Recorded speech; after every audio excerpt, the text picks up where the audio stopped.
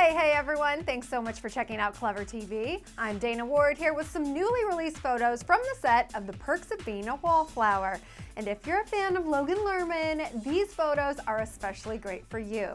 First up, there's an awesome close-up of Logan in character as Charlie, and of course, he's surrounded by books. And there's even a trapper keeper in there.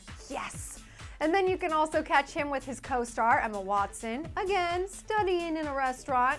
They're smiling at each other. I mean, do you sense some romantic feelings in there? And then another photo from the movie shows Logan getting spied upon by some girl students while he's busy spying on someone or something else. Now, do you think that he's checking out Emma's character in school or what's going on here?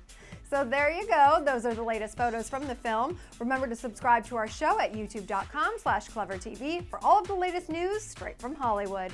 I'm your host, Dana Ward, and we'll see you guys next time. Bye.